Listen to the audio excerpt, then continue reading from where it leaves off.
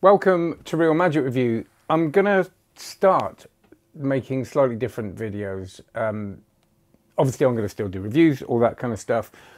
But after speaking to a lot of people at the session convention, it seems that a lot of people have the same issues as me around practice and performance and learning magic and all that kind of stuff. So I posted a, uh, a blog yesterday for the first time in a long time. I love writing and I haven't done it for so long. So if you want to sign up to that, I'm not going to spam people. I hate it when I get emails that are clearly just sort of created for the sake of creating content. I'm not against it. If you do that, that's fine, but it's just, it's not my thing.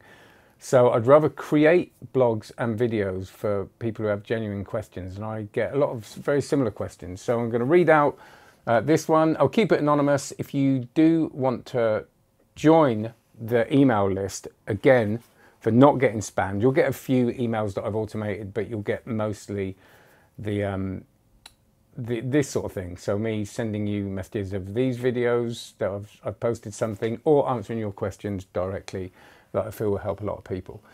So just go to Steve Faulkner, F-A-U-L-K-N-E-R, stevefaulkner.com forward slash blog. And I'll, the emails I send out, I'll also put on there and that will be for subscribers only.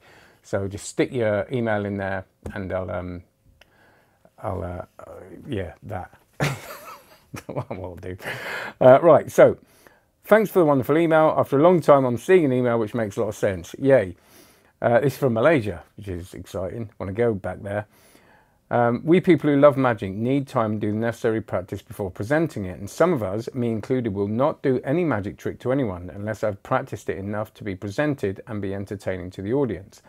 Thank you so much for taking the time to explain and uh, some suggestions on finding the time to practice. In today's world, everyone is so bogged down with work, sitting in front of a PC or meddling with Facebook, LinkedIn or other social networks. Your email is one of the ways to help us keep our focus on what matters most. Uh, be happy, be contented, and be physically and mentally happy. Wishing you a blessed day. What a lovely email. So, it's why I love this community. It's so, it's so joyous, isn't it? So, on that, the the practice of magic, I think, is the thing that I love. Performance is lovely as well, but it, they're very different things for me. And I, I always say to people, don't practice everything just for performing. I'm not saying that you shouldn't. It, it just sparked that in me. Um, but the the practice that we do is so important. It's like I said in the email yesterday. It's my happy place. It really is kind of something that if I'm not careful, I'll put aside for the important stuff. And of course, we do the important stuff so we can do the things that we love to do. So practicing magic in and of itself is a, is a lovely thing. And of course, we want to polish and practice the routines that we want to perform. We are distracted, ironically, because we kind of, you know, we work with distraction but we are distracted by so many other things and you know magic products different magic books coming out so many tricks that it's very hard to kind of stay focused on what we want to do. And uh, my suggestion is always you know is to sit down regardless of how you feel because our brains trick us. Our brains will tell us that we're knackered and to do anything is is not what we want. We want to rest. And actually for me magic practice is like active rest some of it. I'm not on about learning something new from a book. But to actually just sit down and give myself 10 minutes and just say, it's just 10 minutes, that's it. And sometimes it'll be more than 10 minutes, sometimes I'll have more time uh, than I thought I'd have.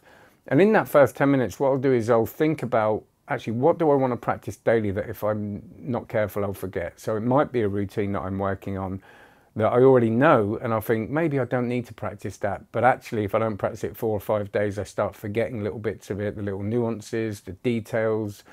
And so I think if I'm, say, practicing a triumph routine, really good example actually, Daryl's Triumph, which I taught on the course, onlinemagic.co, which I remember spending so long with. I went back to it the other day and I couldn't remember.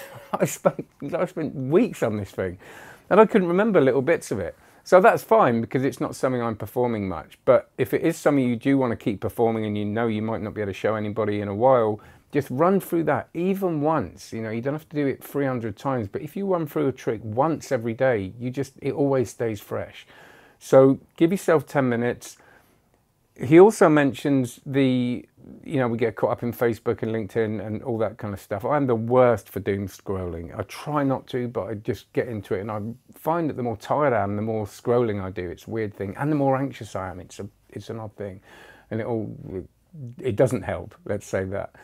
So I think sit down and every time you, you feel like getting your phone out, get the cards out, get the coin out. And even if you're not sitting at a desk with a lovely pad, you don't need that. You just need to run through your thing and you'll find, well, many of us will find, not everybody, that you'll get into a sometimes an energized place for, but very importantly, a peaceful place. And, and it can reset you. I got home last night and I was in the office until six all day filming and I was really on it yesterday and I got home and kind of felt quite anxious because all this I learned loads of stuff on how to create certain videos and and do certain types of filming and I had all this information in my head.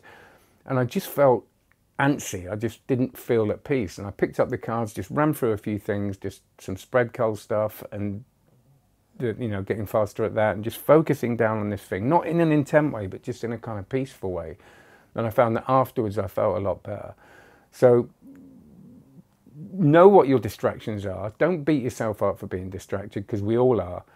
But try and give yourself just that little bit of time. And it doesn't have to be focused practice. It can be play. It can just be picking up the cards. And, and I hope that kind of helps you as much as it does me. And I have to force myself and remind myself how much I enjoy it sometimes. I'll just check there's nothing else I've missed in this. Um,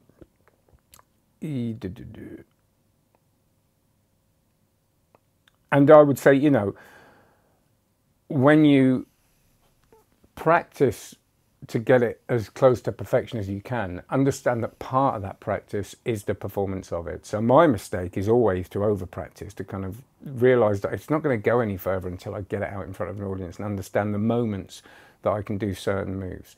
So, and, and my ability drops down when I take a trick out as well. You know, it's way worse than it is in the practice room because, of course, my head's full of other stuff. In, the, in here, it's there's no distraction really.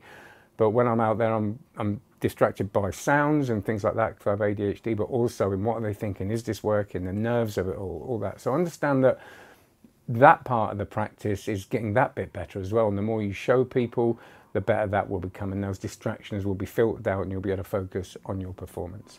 So there you go. It's, these are going to be very waffly. There's no real major kind of theme to this, but I hope that helps some of you. Do let me know. stevefaulkner.com forward slash blog is where you can find all my links and uh, the posts. And I'll put this up there as a link as well. And onlinemagic.co, if you're interested in joining up on the course, just go to onlinemagic.co. And any questions, steve at onlinemagic.co, uh, I'll answer them, maybe on another video. All right. Oh, Instagram at Steve Faulkner as well, and all the other things. Cheers.